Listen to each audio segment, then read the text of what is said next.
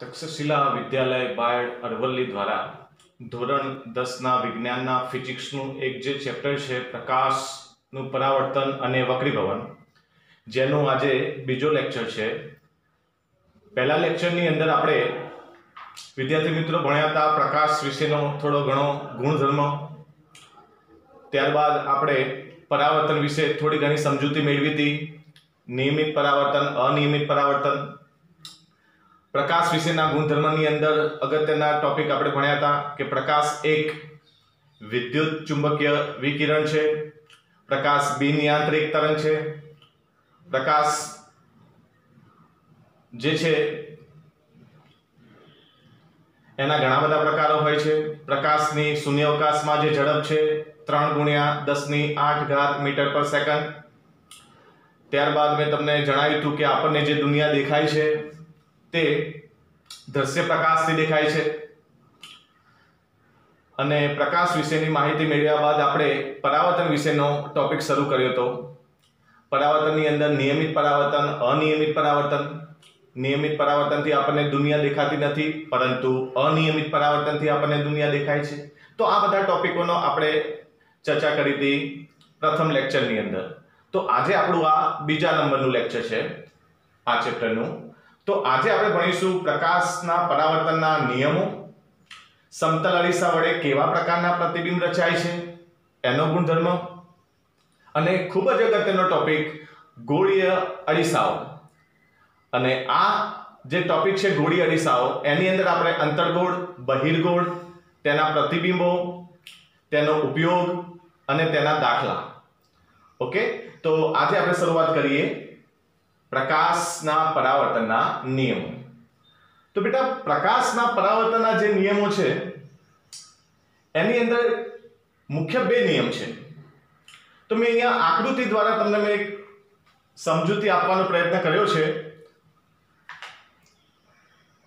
કે સપાટી છે, કોઈ એક સપાટી છે, સમજી લો. એને કાલ્પનિક એક મેં લંબ દોર્યો છે 90 એંગલે લંબ, કાલ્પનિક લંબ છે. ત્યાં કોઈ પ્રકાશનું કિરણ કોઈ એક બિંદુ એ આપાત બિંદુ, અહીંયા જે બિંદુ બનશે એને આપણે આપાત બિંદુ કહીશું. જે બિંદુએ પ્રકાશનું કિરણ આપાત થાય, આવે, અથડાય, તે બિંદુને આપણે આપાત બિંદુ કહીશું. તો આપાત કિરણ, આ જે મેં દોર્યું છે એ આપાત કિરણ છે અને આ બિંદુએ અથડાઈને પ્રકાશનું કિરણ પરાવર્તન પામશે. ઓકે? અથડાઈને પરાવર્તન પામશે. તો એ કિરણનું નામ આપીશું આપણે પરાવર્તિત કિરણ. બીજું, અહીંયા મેં એક પ્રકારનો ખૂણો દર્શાવ્યો છે, થીટા આઈ. Theta I. જેને આપણે નામ આપ્યું છે આપાત કોણ. તો લંબ અને આપાત કિરણ આગળ જે ખૂણો બન્યો છે, લંબ અને આપાત કિરણ આગળ જે ખૂણો બન્યો છે, તેને આપણે આપાત કોણ કહીશું, જેને થીટા આઈ વડે દર્શાવવામાં આવે છે. થીટા આઈ નો મિનિંગ થાય છે, આઈ એટલે ઇન્સિડન્સ ઇંગ્લિશમાં એને ઇન્સિડન્સ કહીશું. આપાતને ઇંગ્લિશમાં ઇન્સિડન્સ કહેવાય. માટે અહીંયા એની સંજ્ઞા દર્શાય છે થીટા આઈ થીટા એટલે ખૂણો. ઓકે તો પરાવર્તિત કોણને આપણે થીટા આર કહીશું. આર કેમ લખ્યું છે? કારણ કે પરાવર્તનને આપણે રિફ્લેક્શન કહીએ છીએ. એટલે એને આર વડે દર્શાવવામાં આવ્યો છે. તો પરાવર્તિત કોણ કઈ જગ્યાએ બનશે? લંબ અને પરાવર્તિત કિરણ આગળ જે ખૂણો બન્યો, લંબ અને પરાવર્તિત કિરણ આગળ જે ખૂણો બને છે, એને આપણે પરાવર્તિત કોણ કહીશું. ઓકે ચલો. તો આ મેં તમને આકૃતિની થોડી ઘણી સમજ આપી. તો પરાવર્તનના નિયમો શું કહે છે? તો પહેલો નિયમ. પહેલો નિયમ એવું કહે છે કે ભાઈ, આપાત કોણનું મૂલ્ય અને પરાવર્તન કોણનું મૂલ્ય હંમેશા સમાન જ હોય છે. આપાત કોણનું મૂલ્ય અને પરાવર્તન કોણનું મૂલ્ય હંમેશા સમાન હોય છે. આ ખાસ પોઈન્ટ છે. અને આ જે રૂલ્સ છે, એ દરેક પ્રકારની સપાટી ઉપર આધાર રાખે છે. દરેક પ્રકારની સપાટી ઉપર લાગુ પડે છે. ચાહે ખરબચડી હોય, લીસી હોય, વક્રાકાર હોય, ગમે તે રીતની સપાટી હોય. દરેક સપાટી ઉપર પરાવર્તનના નિયમો લાગુ પડે છે. આ ખાસ યાદ રાખવાનું છે. ઓકે? તો આ ચેપ્ટરમાં જે આપણે પરાવર્તનના રૂલ્સ લાગુ કરીશું, એમાં આ બંને રૂલ્સ લાગુ પડશે. બરોબર? એટલે એ ભૂલવાના નથી. અને આ ટોપિક બે માર્ક્સમાં બોર્ડમાં પૂછાતો હોય છે. ઓકે? ચલો, તો પહેલો નિયમ ક્લિયર થઈ ગયો છે. એકદમ સરળ છે કે ભાઈ આપાત કોણનું મૂલ્ય અને પરાવર્તન કોણનું મૂલ્ય હંમેશા સમાન હોય છે. ઓકે? મતલબ કે theta I is equal to theta R. Okay? શોર્ટમાં પણ બી તમે એને સમજી શકો છો. ઓકે? ચલો, હવે આપણે બીજા નિયમ ઉપર જઈએ. પરાવર્તનનો બીજો નિયમ શું કહે છે? કે ભાઈ, આપાત કિરણ ત્રણ વસ્તુ ધ્યાન રાખો. આપાત કિરણ, પરાવર્તિત કિરણ અને લંબ.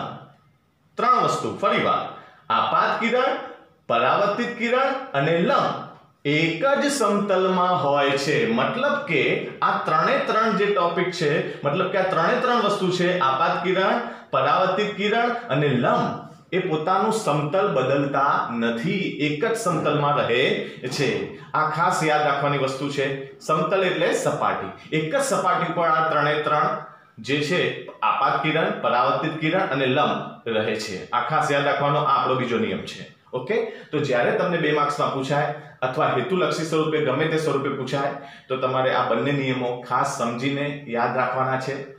પહેલો નિયમ છે આપાત કોણનું મૂલ્ય અને પરાવર્તન કોણનું મૂલ્ય હંમેશા સમાન. આપાત કિરણ, પરાવર્તિત કિરણ અને સપાટીને દોરેલો લંબ એક જ સમતલમાં હોય છે. આ બંને રૂલ્સ મેં તમને સમજાયા. ઓકે આટલું યાદ રાખવાનું.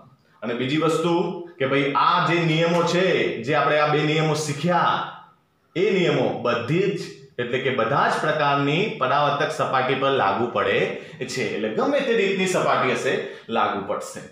બરાબર? ચલો. બીજું, એક જાણવા માટે કે ભાઈ ચાંદી એ પ્રકાશનું સારામાં સારું પરાવર્તન કરે. એટલે સારામાં સારી પરાવર્તક સપાટી કોની હોઈ શકે? ચાંદીની હોઈ શકે છે. એમાં સૌથી વધારે રિફ્લેક્શન મારે છે પ્રકાશ. એટલે સૌથી વધારે પરાવર્તન પામે છે. ઓકે આ યાદ રાખવાનું છે. બરાબર? તો આ થયો આપણો પહેલો ટોપિક પરાવર્તનના નિયમો. ક્લિયર ચલો, હવે આપણે આગળ જઈએ. આગળનો ટોપિક છે સમતલ અરીસા વડે રચાતા પ્રતિબિંબો. એના ગુણધર્મો કેવા હોય છે? મતલબ કે સમતલ અરીસામાં કેવા પ્રકારના પ્રતિબિંબો રચાય છે એ આપણે સમજવાનું છે. ઓકે? હવે તમે જુઓ મિત્રો કે અરીસાની અંદર આપણે ત્રણ પ્રકારના શીખવાના છે. સમતલ, અંતર્ગોળ અને બહિર્ગોળ. અંતર્ગોળ, બહિર્ગોળ એ ગોળી અરીસામાં આવશે. ક્લિયર અત્યારે આપણે સમજીએ સમતલ અરીસો. તો સમતલ અરીસો જે છે સમતલ અરીસો એ તમે ઘરની અંદર વારંવાર એનો ઉપયોગ કરો છો. તમારા તિજોરીની અંદર તમે જોવો છો કે આગળ તરફ એકદમ સીધો, ચળકતી લીસી સપાટીવાળો અરીસો છે જેને આપણે સમતલ અરીસો કહીએ છીએ. તો એ અરીસામાં કેવા પ્રકારનું પ્રતિબિંબ રચાય છે? તો આ વસ્તુ તમે જાતે જ પ્રેક્ટિકલી જોઈ શકો છો. તો દરેક મિત્રો પોતાના ઘરના જે તિજોરીનો અરીસો છે, એની સામે જઈને ઊભા રહે. અને જાતે જ ઓબ્ઝર્વેશ કરે. મતલબ કે ઓબ્ઝર્વેશન કરવામાં આવે જાતે. તમે જાતે જ અવલોકન કરો કે ભાઈ કેવા પ્રકારનું પ્રતિબિંબ રચાય છે. તો જો મેં અહીંયા દોરીને સમજાવવાનો પ્રયત્ન કર્યો છે. તો આ એક સમતલ અરીસો છે. વ્હાઇટ કલરની જે મેં લાઈન બતાવી છે, એ સમતલ અરીસો છે. અને આ બાજુ જે લીટા કરેલા છે, એ ખરબચડી સપાટી છે. યાદ રાખજો, સમતલ અરીસાની અંદર, સમતલ અરીસાની અંદર એક સપાટી ખરબચડી અને એક સપાટી ચળકતી લીસી હોય છે. સમતલ અરીસાની અંદર એક સપાટી ખરબચડી, જે મેં કેસરી કલરથી અહીંયા તમને બતાવું છું. અને એક સપાટી એકદમ ચળકતી લીસી હોય છે અને એકદમ સમતલ હોય છે. તમે જોઈ શકો છો, એકદમ સમતલ હશે. બરાબર? તો આવો જે અરીસો છે એ સમતલ અરીસો છે. ઓકે? તો સમતલ અરીસાની અંદર કેવા પ્રકારનું પ્રતિબિંબ રચાય છે? તો ઉદાહરણ તરીકે આ એક સમતલ અરીસો છે. એની સામે તમે ઊભા રહો અથવા તો કોઈ વસ્તુ રાખો. તો એનું પ્રતિબિંબ તમને આ અરીસાની પાછળ દેખાશે. પણ એ પાછળ એ વસ્તુ હોતી નથી. એનું પ્રતિબિંબ ખોટું હોય છે. છતાં આપણને એનું પ્રતિબિંબ આ વસ્તુની પાછળ દેખાય છે. મતલબ કે અરીસાની પાછળ દેખાય છે. ઓકે? તમે જોવો છો કે તમે સમતલ અરીસાની સામે ઊભા રહો છો, તો તમારું જ પ્રતિબિંબ તમને અરીસાની પાછળ તમને દેખાય છે. બીજું, તમે જેટલા હાઈટના હશો, મતલબ કે તમારી જેટલી ઊંચાઈ હશે, એટલી જ ઊંચાઈ સામે તમને જોવા મળશે. તમે સમતલ અરીસાથી દૂર જશો તો સામે પ્રતિબિંબ બી દૂર જશે. બીજી એક ખાસ વસ્તુ, તમે ડાબો હાથ ઊંચો કરશો તો એ કયો હાથ ઊંચો કરશે?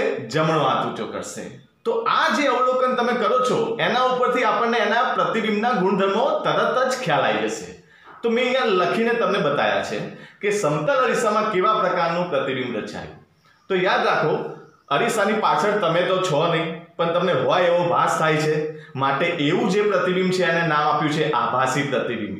યાદ રાખજો. જે પ્રતિબિંબ ખોટું છે, હોય એવો ભાસ થાય છે આપણને ખાલી, એવા પ્રતિબિંબને આભાસી પ્રતિબિંબ કહીશું. ઓકે? તો સમતલ અરીસામાં પહેલું કયું? આભાસી રચાશે અને ચત્તુ. બેટા, ચત્તુ એટલે સીધું પ્રતિબિંબ. ચત્તુ એટલે સીધું પ્રતિબિંબ. ઓકે? તો સમતલ અરીસામાં કેવું પ્રતિબિંબ રચાશે? આભાસી અને ચત્તુ.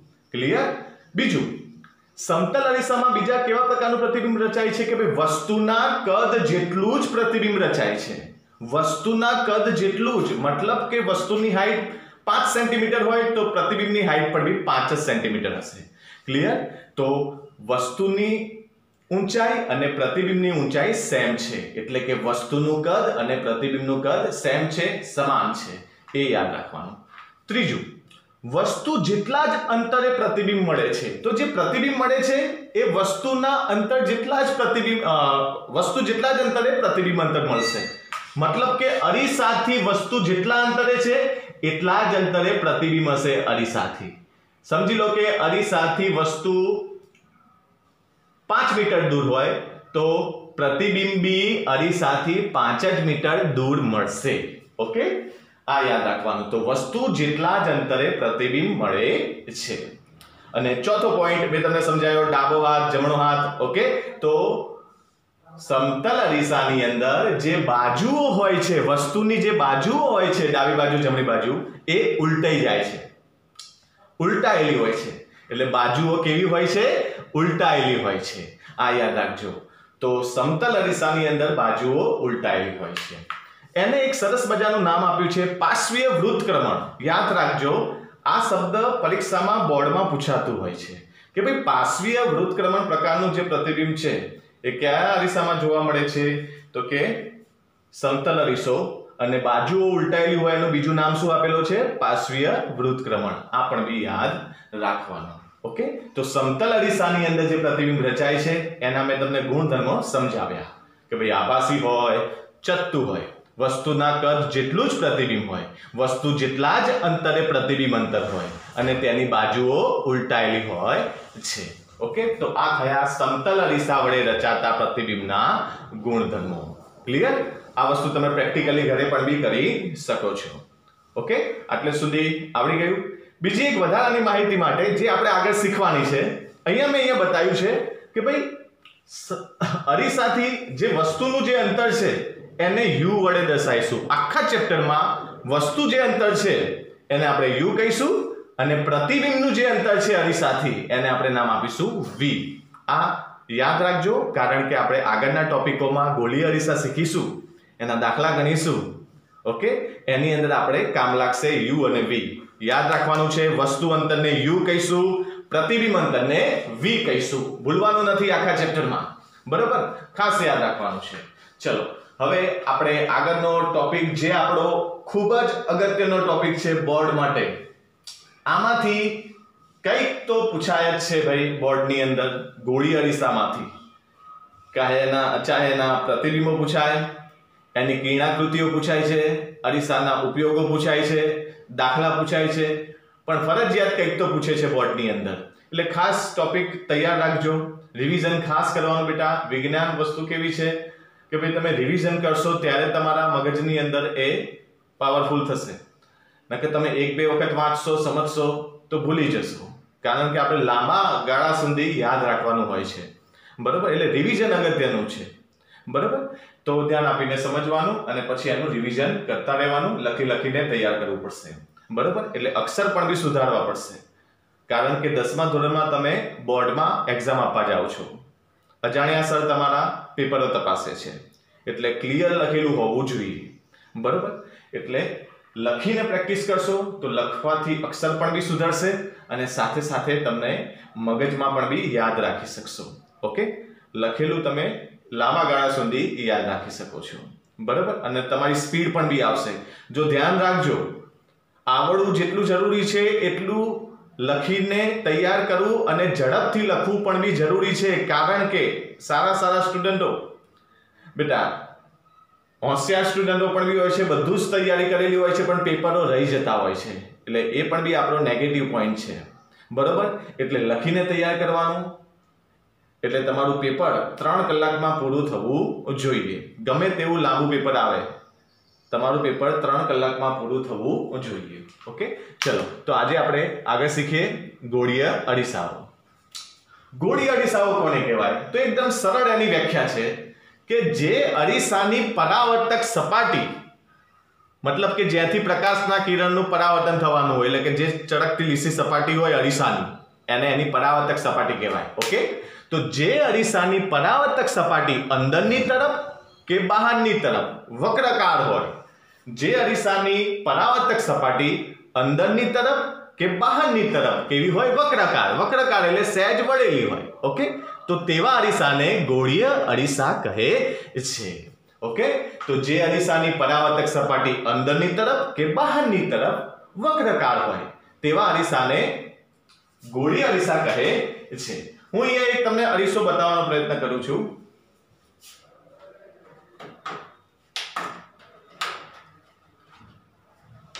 જો આ અરીસાઓ જે ભણવાના છે ગોળી અરીસાઓ, એમાં કે એટલો બધો વક્ર તમને દેખાશે નહીં. અસલીની અંદર બહુ બધો વક્ર હોતો નથી. તમે કદાચ વાળ કપાવા જાઓ છો હેર કટિંગની દુકાને, તો તમારી સામે જે અરીસો હોય છે, એ અરીસો તમને દેખાવમાં તો એકદમ પ્લેન લાગે છે, સમતલ લાગે છે. પણ એમાં પણ બી સહેજ આછો કર હોય છે, એટલે કે ખૂબ જ ઓછો કર હોય છે, એટલે કે વળાંક હોય છે. અંતરગોળ હોય છે એ અરીસો. જેથી કરીને તમારું પ્રતિબિંબ મોટું દેખાય અને જે કારીગર છે વાળ કાપવાના, એ સરળતાથી વાળ કાપી શકે, વ્યવસ્થિત કાપી શકે. દાઢી પણ બી વ્યવસ્થિત કરી શકે. તો ત્યાં અંતરગોળ અરીસો વપરાય છે. તમારું પ્રતિબિંબ સહેજ મોટું દેખાશે. આપણે આગળ જોઈશું અંતરગોળ અરીસામાં કેવા પ્રતિબિંબ રચાય છે. પણ યાદ રાખવાનું છે કે ભાઈ, જે અરીસાઓ, ગોળી અરીસાઓ છે કે એકદમ વક્રકા ગોળ જેવા નહીં હોય. ઓકે? ગોળી અરીસાઓ હશે ખરી? અહીંયા મેં દોરેલો છે ખરી, પણ તમને સમજ માટે મેં વક્રકાર ભાગ બતાવેલો છે. પણ એનો વક્રકાર ભાગ ખૂબ જ ઓછો હોય છે. જો હું અહીંયા તમને બતાવું છું. સમતલ અરીસો જોઈ લો. સમતલ અરીસો પહેલા હું તમને બતાવી દઉં. જો સમતલ અરીસો એકદમ સાઈડમાંથી બતાવું તો તમને એકદમ પ્લેન જ લાગશે. કેસરી ભાગ બી નહીં દેખાય અને ચળકતો ભાગ પણ બી નહીં દેખાય. જો આ ચળકતો ભાગ છે, આ કેસરી ભાગ છે. હું તમને સાઈડમાંથી બતાવું તો એકદમ પ્લેન દેખાય છે. તો આ પ્લેન અરીસો કહેવાય. સમતલ અરીસો કહેવાય આને. ઓકે? આને સમતલ અરીસો કહેવાય. પણ અહીંયા જે હું તમને અડીસો બતાવું છું, અંતરગોળ. જો, અંતરગોળ અડીસો હું તમને સાઈડમાંથી જ બતાવું છું, પણ જો તમને કેસરી ભાગ બી સહેજ દેખાતો હશે. હું તમને એકદમ સાઈડમાંથી જ બતાવું છું, પણ તમને કેસરી ભાગ બી દેખાય છે. જુઓ તમે બેટા. મતલબ કે આ બહારની તરફ સહેજ અંદરની તરફ ખાડો છે આની અંદર. અંદરની તરફ ખાડો છે. એટલે કે અંદરની તરફ વક્રાકાર ભાગ છે અને જે આ કેસરી ભાગ છે ખરબચડો ભાગ છે. અને આ જે ભાગ છે, એ ચળકતો લીસ્સો પરાવર્તક સપાટી કહેવાય આને. ક્લિયર અને આને કેવી સપાટી કહેવાય? ખરબચડી સપાટી કહીશું. બરોબર? તો અહીંયા જે મેં આકૃતિમાં બતાવ્યો છે, તો આ કેસરી ભાગ જે છે, એ તમને મેં પ્રેક્ટિકલી બતાવ્યો. અને અંદરનો જે વ્હાઇટ ભાગ છે, એ ચળકતો લીસ્સો છે. જેને આપણે પરાવર્તક સપાટી કહીશું આખા ચેપ્ટરમાં બરોબર? અને એ જ ભાગમાંથી પ્રકાશનું પરાવર્તન થાય છે. આ યાદ રાખવાનું છે. ઓકે તો આ અંતર્ગોળ અરીસો છે. બરોબર? તો જે અરીસાની પરાવર્તક સપાટી અંદરની તરફ કે બહારની તરફ વક્રકાર હોય, એવા અરીસાને ગોળી અરીસા કહે છે. એના આપણે બે ભાગ સમજવાના છે. બે પ્રકારો સમજવાના છે કે ભાઈ અંતર્ગોળ અરીસો અને બહિર્ગોળ અરીસો. ગોળી અરીસાના બે પ્રકારો, અંતર્ગોળ અને બહિર્ગોળ. અંતર્ગોળની વ્યાખ્યા પણ બી એકદમ સરળ છે કે ભાઈ જે ગોળી અરીસાની પરાવર્તક સપાટી, મેં તમને જે હમણે બતાવ્યું તો જે ગોળી અરીસાની પરાવર્તક સપાટી અંદરની તરફ વક્રાકાર હોય. પરાવર્તક સપાટી એટલે ચળકતી લીસી સપાટી. જે મેં તમને બતાવી. ચળકતી લીસી સપાટી. ઓકે? આજે બતાવી છે ચળકતી લીસી સપાટી. અંદરની તરફ વક્રાકાર હોય. અંદરની તરફ વક્રાકાર હોય. તેવા અરીસાને અંતર્ગોળ અરીસો કહે છે. અને જે ગોળી અરીસાની પરાવર્તક સપાટી બહારની તરફ વક્રાકાર હોય, બહારની તરફ વક્રાકાર હોય, તેવા અરીસાને બહિર્ગોળ અરીસો કહે છે. ઓકે તો આ એકદમ સરળ વ્યાખ્યા છે.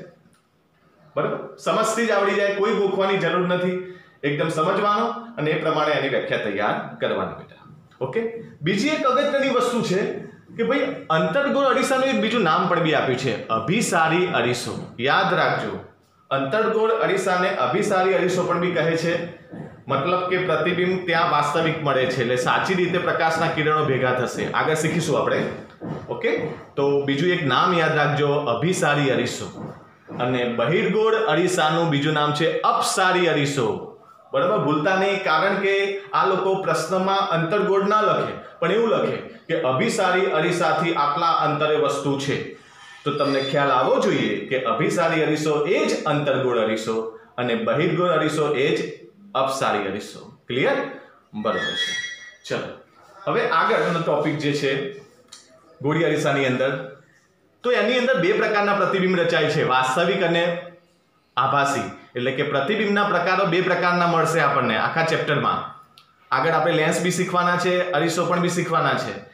તો વાસ્તવિક અને આભાસી પ્રતિબિંબનો મતલબ શું થાય છે બેટા? એ સમજી લઈએ. ખૂબ જ અગત્યનું. કારણ કે આખા ચેપ્ટરમાં આપણે આ બે શબ્દથી રમવાનું છે. વાસ્તવિક, આભાસી કન્ફ્યુઝન ના થવું જોઈએ. બરાબર? તો જો વાસ્તવિક પ્રતિબિંબ કોને કહેવાય? તો હંમેશા યાદ રાખવાનું, જ્યારે તમે દોરો પ્રતિબિંબને, કિરણાકૃતિ તમે દોડશો, આપણે ઘણી બધી કિરણાકૃતિ દોરવાની છે. બરાબર? ત્યારે ધ્યાન રાખજો કે ભાઈ, જ્યારે પ્રકાશનું કિરણ, જો આ પ્રકાશનું કિરણ મેં બતાવ્યું છે, આ બે પ્રકાશના કિરણ બતાવ્યા છે એ પ્રકાશનું કિરણ જ્યારે કોઈ અરીસાની પરાવર્તક સપાટી, અરીસો હોય કે લેન્સ હોય અહીંયા મેં અરીસો બતાવ્યો છે, બરોબર? લેન્સમાં પણ બી લાગુ પડે, અરીસામાં પણ બી લાગુ પડે. તો અરીસાની જે પરાવર્તક સપાટી છે, એ પરાવર્તક સપાટીએ પરાવર્તન પામીને કોઈ એક બિંદુએ કેન્દ્રિત થતા હોય. જો તમે આ બે કિરણો મેં તમને બતાવ્યા છે, આ બે કિરણો મેં જે તમને બતાવ્યા છે, એ બંને કિરણો અરીસા પરથી પરાવર્તન પામ્યા અને આ બિંદુએ કેન્દ્રિત થયા. ભેગા થયા. તો જે પ્રકાશના કિરણો પરાવર્તન પામીને કોઈ એક બિંદુએ કેન્દ્રિત થતા હોય, સાચી રીતે, સામેની સાઈડ ઓકે તો એ બિંદુએ હંમેશા વાસ્તવિક પ્રતિબિંબ રચાય, સાચું પ્રતિબિંબ રચાય. જો બીજી ભાષામાં કહીએ તો વાસ્તવિક એટલે સાચું. ઓકે અને વાસ્તવિક પ્રતિબિંબ હંમેશા ઉલટું જશે યાદ રાખજો, આ પોઈન્ટ ખૂબ જ યાદ રાખવાનો છે. આખા ચેપ્ટરની અંદર વાસ્તવિક પ્રતિબિંબ હંમેશા ઉલટું જ હોય છે. ઓકે એમાં સહેજ પણ બી કન્ફ્યુઝન થવાની વસ્તુ નથી. વાસ્તવિક આવે એટલે ઉલટું. અને ઉલટું દેખાય તો વાસ્તવિક જ હોય. પ્રતિબિંબ ઉલટું મળે એટલે વાસ્તવિક જ સમજવાનું અને વાસ્તવિક હોય એટલે ઉલટું જ સમજવાનું. બરોબર? બંને સાથે જ સમજવાનું. એટલે ભૂલ ના થાય. આ વસ્તુ પરીક્ષામાં બહુ પૂછાય છે અને બહુ કામ લાગશે. દરેક કિરણાકૃતિ આપણે આગળ દોરવાની છે. એની અંદર આ પોઈન્ટ અચૂકથી આવે છે. બરોબર? અને પરીક્ષામાં પણ બી પૂછાય છે. વાસ્તવિક પ્રતિબિંબ એટલે સાચા પ્રતિબિંબ. કોઈ એક જગ્યાએ કેન્દ્રિત થતા હોય, જે બિંદુએ કેન્દ્રિત થતું હોય, એ બિંદુએ વાસ્તવિક પ્રતિબિંબ રચાશે અને વાસ્તવિક પ્રતિબિંબ હંમેશા ઉલટું હોય છે. યાદ રહેશે? અને બીજું, વાસ્તવિક પ્રતિબિંબ હંમેશા પડદા પર મળે છે. મતલબ કે હું આ અરીસાની સામે કોઈ પડદો રાખું, તો ત્યાં વસ્તુનું પ્રતિબિંબ રચાઈ જશે. એટલે કે અરીસાની સામે પડદો રાખતા પ્રતિબિંબ તમને ત્યાં મળશે, જે ઉલટું મળશે. એટલે કે વાસ્તવિક પ્રતિબિંબ હંમેશા પડદા ઉપર ઝીલી શકાય છે, મળે છે. ઓકે? અને વાસ્તવિક પ્રતિબિંબ હંમેશા ઉલટું હોય છે. બોલો ક્લિયર થઈ ગયું છે આ? બરાબર? હવે બીજું એક પ્રકાર છે આભાસી પ્રતિબિંબ. પ્રતિબિંબની અંદર આભાસી પણ બી તમને મળશે. ઓકે? તો આભાસી પ્રતિબિંબ કોને કહીશું? કે ભાઈ જો, અહીંયા તમે જોઈ શકો છો કે ભાઈ આ અરીસાની પરાવર્તક સપાટી છે. બહિર્ગોળ અરીસો મેં દોર્યો છે. એ અરીસાની પરાવર્તક સપાટી પર જ્યારે પ્રકાશના કિરણો આપાત થાય છે, તો આ પ્રકાશના કિરણો તો તમે જોઈ શકો છો, એકબીજાથી કેવા જાય છે? દૂર જાય છે. એક આમ જાય છે અને એક આમ જાય છે. તો બંને પ્રકાશના કિરણો સામેની સાઈડ મળે. બંને એકબીજાથી દૂર જાય છે. જો, બંને એકબીજાથી દૂર જાય છે. પરાવર્તક કિરણો એકબીજાથી દૂર જાય છે. તો સામેની સાઈડ નહીં મળે, પણ પાછળની સાઈડ જો મેં ડોટેડ લાઈન બતાવી છે, ટપકાવાળી. પાછળની સાઈડ લંબાવાથી કોઈ એક બિંદુએ મળતા હોય એવો ભાસ થાય છે, ખોટી રીતે. ઓકે એવો ભાસ થાય છે. તો એવું જે પ્રતિબિંબ છે, એને આપણે આભાસી પ્રતિબિંબ તરીકે ઓળખીશું. ઓકે તો આભાસી જે પ્રતિબિંબ છે, એ હંમેશા ચત્તુ જ મળે છે. ચત્તુ એટલે સીધું. યાદ રાખજો, ચત્તુ એટલે સીધું પ્રતિબિંબ. ઓકે? તો આભાસી પ્રતિબિંબ હંમેશા ચત્તુ હોય છે. બરાબર? ભૂલ નહીં કરતા.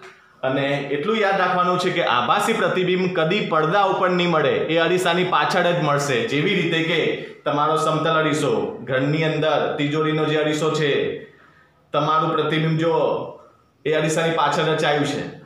જ્યાં હોતું નથી. બરોબર? તો યાદ રાખજો, આભાસી પ્રતિબિંબ કદી પડદા ઉપર મળતું નથી. તો આ ટોપિક ખાસ યાદ રાખવાના છે તમારા આગળના ટોપિક માટે. વાસ્તવિક અને આભાસી પ્રતિબિંબનો મતલબ શું થાય છે? બરોબર? વાસ્તવિક પ્રતિબિંબ હંમેશા ઉલટું હોય છે, પડદા ઉપર મળે છે. આભાસી પ્રતિબિંબ હંમેશા ચત્તું હોય છે અને પડદા ઉપર મળતું નથી. ઓકે?